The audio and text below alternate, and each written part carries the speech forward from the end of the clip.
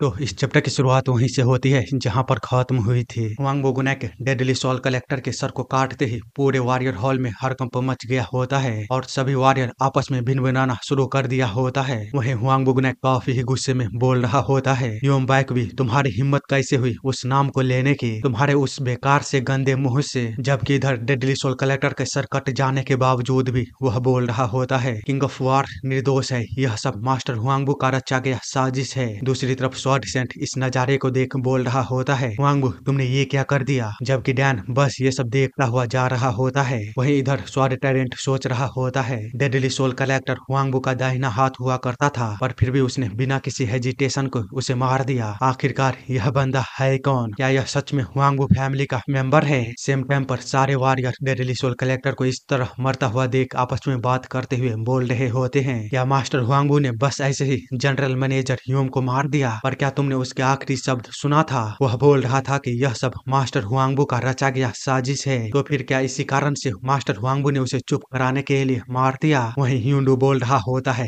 Master Huangbu, मुझे विश्वास नहीं हो रहा है कि तुम पावरफुल ग्रुप्स के ग्रैंड असेंबली में किसी को इस तरह मार सकते हो। वास्तव में तुम छुपा क्या रहे हो, जो तुम्हें इस हद तक जाना पड़ा? दूसरी तरफ़ ओल्ड बैगर सोच रहा होता है, मुझे विश्वास नहीं हो रहा है हुआंगबू, जो कि हमेशा शांत रहता था। वह इस तरह का भी फैसला ले सकता है। क्या इसका मतलब यह है कि ग्रेट हुआंगबू, वह डर रहा है? वो सारे लोग इसी तरह सोच ही रहे होते हैं। तभी कुछ वारियर हुआंगबू गुनैक से सवाल पूछते हुए कहते हैं, मास्टर हुआंगबू, प्लीज़ जवाब दीजिए। क्या जनरल मैनेजर ने जो बोला, वह क्या सच है? आखिर वह कौन सी चीज़ है जिसके चलते उसका मुँह बंद करने के लिए आपने उसे मार डाला? उन सभी लोगों की इस तरह की बातों को सुन हुआंग बोगनैक अपने मन में सोचता है, धिक्कार है, मैंने बिना रियलाइजेशन के ये सब कर दिया। उसके बस अनएक्सपेक्टेड स्टेटमेंट के कारण। लेकिन आखिरकार उसने अचानक ही हुआंगबू मुएक का नाम क्यों लिया? उसी समय डैन उसे टेलीपैथी के ज़रिए बोलता है, क्या बात है? तुमने तो काफ़ी ही लाजवाब गलती की है। जो सुन हुआंग बोगनैक काफ़ी गुस्से में डैन से बोलता है, बास्टर, इसका मतलब कि तुम्हारा बात करने का डांटियन, वह डैमेज नहीं हुआ है। जिस पर कि डैन उसे बताता है, मैं सोच रहा था कि आयरन मार्शल एसोसिएशन, जिसे मेनलैंड में सबसे बड़ा और सबसे अच्छा ऑर्गेनाइजेशन कहा जाता है, वह इस बार प्रॉब्लम की अच्छी तरह से समाधान करेगा। पर तुमने तो मुझ पर काफ़ी बेतुकी और गलत आरोपों को लगाकर मुझे मारने की कोशिश की। यदि मैं पहले से इसके लिए तैयार नहीं होता तो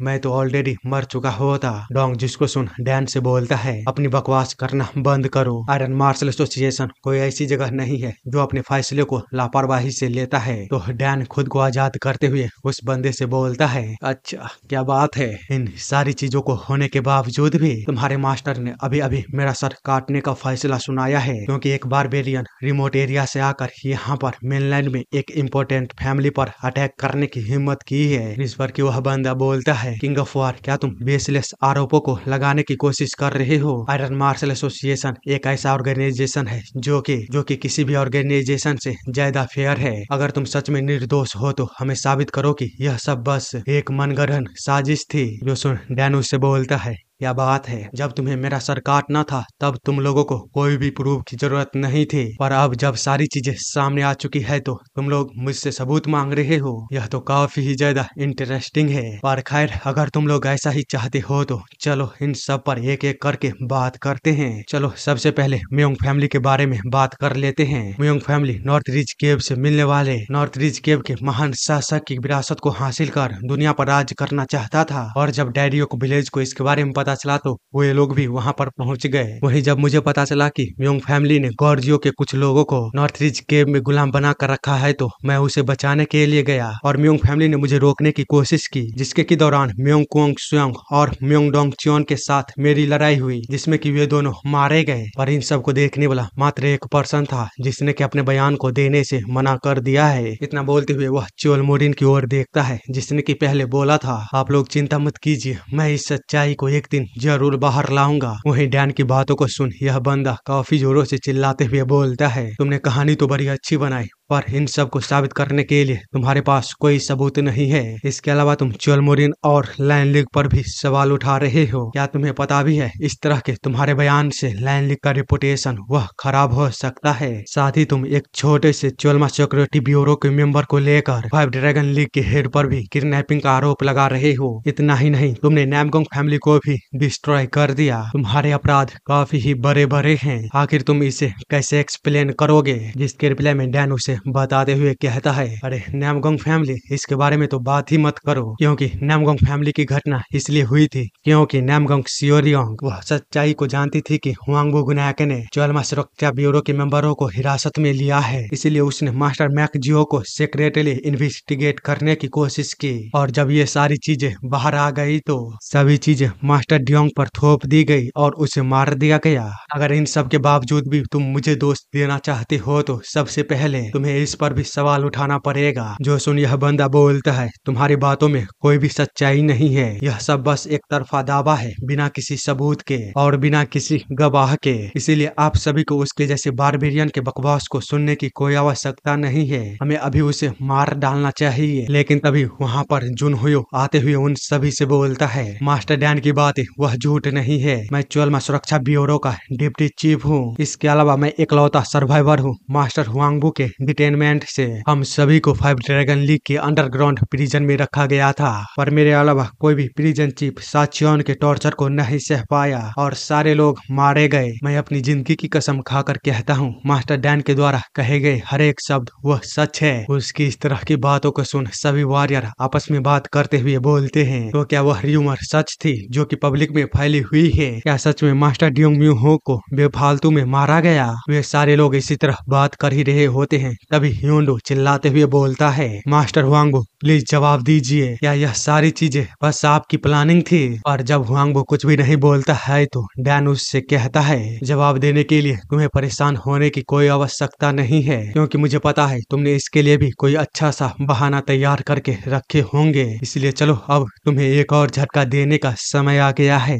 इसी के साथ वह अभी लाए गए लाश के ऊपर से कपड़े को हटाते हुए बोलता है, हुआंगबो, क्या तुम इसे पहचानते हो? उस लाश को देखते ही सारे ही लोग काफ़ी ही ज़्यादा चौंके होते हैं और कहते हैं, यह कितना भयानक लाश है। या मास्टर हुआंगबो ने इसके साथ कुछ किया है? वही हुआंगबो बस उसे देखे जा रहा होता है, लेकिन डैन आगे बताते हुए कहता है, इस आदमी को दस हज़ार साल पुराना गोल्ड आयरन से घिरे रूम में रखा गया था। इसके अलावा उसके हाथों और पैरों को काट कर उसे जंजीरों से भेद दिया गया था। साथ ही आप लोग जैसे कि देख सकते हो, उसकी आँखें तक को बाहर निकाल ली गई है और उसके शरीर से उसकी चमड़ी तक को उधार लिया गया है। पर इस आदमी ने जो आखिरी शब्द बोला था, वह था मुआक पहले तो मुझे इस चीज़ को लेकर कुछ भी समझ नहीं आया, क्योंकि मुझे पता नहीं था कि आखिर मुआक किसका नाम है। लेकिन जब इस आदमी ने अपने मरते समय में आगे बताया कि उसका नाम हुआंगो गुनैक है तो तब मुझे सारी चीज़ें समझ में आई। और जैसा कि इसने कहा था, इसका यह हाल करने वाला और कोई नहीं। उसका छोटा भाई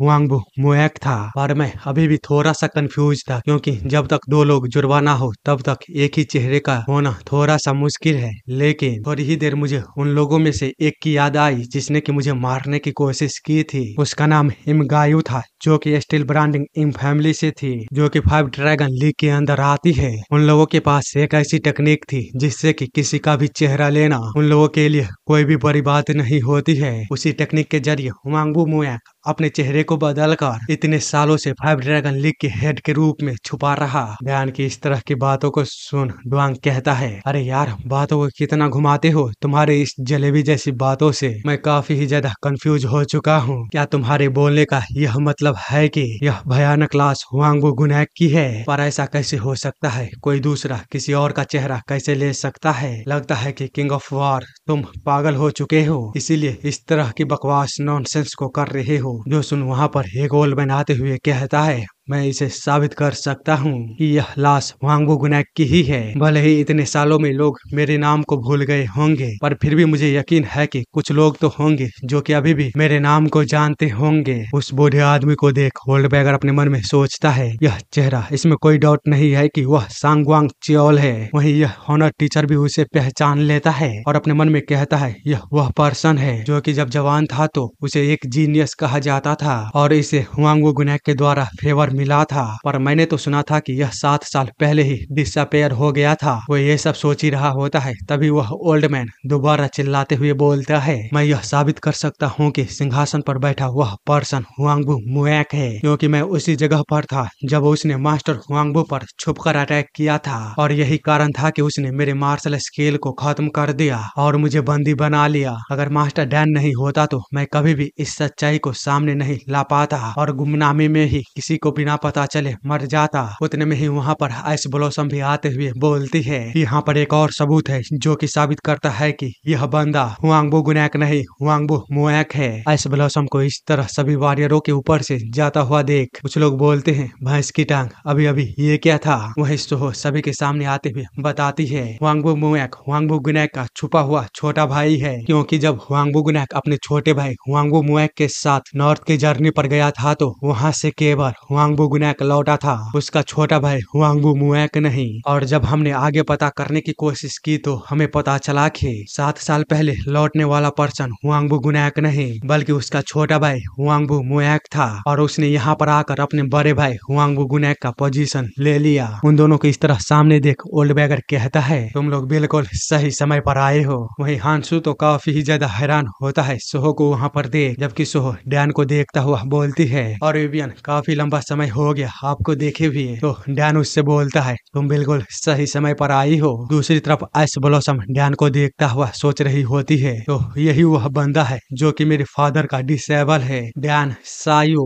उसी समय सोहो आगे सभी को बताते हुए कहती है, हमारे पास, हमारे द्वारा कहे गए सभी शब्दों के लिए सबूत है। जो सुन डैन हुआंगो मुया की ओर देखता हुआ कहता है, चलो, अब तुम इसे कैसे सुलझाने वाले हो? दूसरी तरफ़ लाइन का हेड शॉर्ट भी, उससे बोल रहा होता है आपको इस बारे में सब कुछ एक्सप्लेन करना ही होगा। वही नाइन सेंट्रल का हेड शॉर्ट सेंट भी बोल रहा होता है। क्या उन लोगों ने जो बोला, वह सच है? या सच में आपने पूरे गांगों को इतने समय से धोखा दे रहे थे? उन सभी की बातों को सुन फ़िश सेंट अपने मन में सोचता है। मुझे पहले से पता था, कुछ ना कुछ तो ज़रूर गलत है। क्योंकि इस लेवल पर होने के बावजूद भी कोई क्यों ही खुद की इच्छा से आयरन टेरेंट के हाथों बंधक बनेगा और जेल में जाने के लिए तैयार होगा। तभी डैन उससे दोबारा टेलीपैथी के ज़रिए बोलता है। मैं तुम्हें उस समय अपने हाथों से मुझे ना मारने के लिए डेफिनेटली रिग्रेट कराऊँगा। जो सुन हुआंग इविल स्माइल के साथ उससे कहता है वेल well, मैं इसे एडमिट करता हूँ तुम्हें उस दिन अपने हाथों से ना मारने के लिए। और अब मैं उस गलत फैसले को सुधारूँगा और तुम्हें यहीं पर मार डालूँगा। इतना बोलते हुए वह काफ़ी भयानक तरीके से अपने खतरनाक पावर का इस्तेमाल करते हुए डैन पर अटैक कर देता है जिसके चलते हम देखते हैं वहाँ की पूरी ज़मीन तबाह हो चुकी होती है जिसके चलते ऐसा लग रहा था कि डैन के साथ ही, वहाँ पर खड़े उसके सभी साथी भी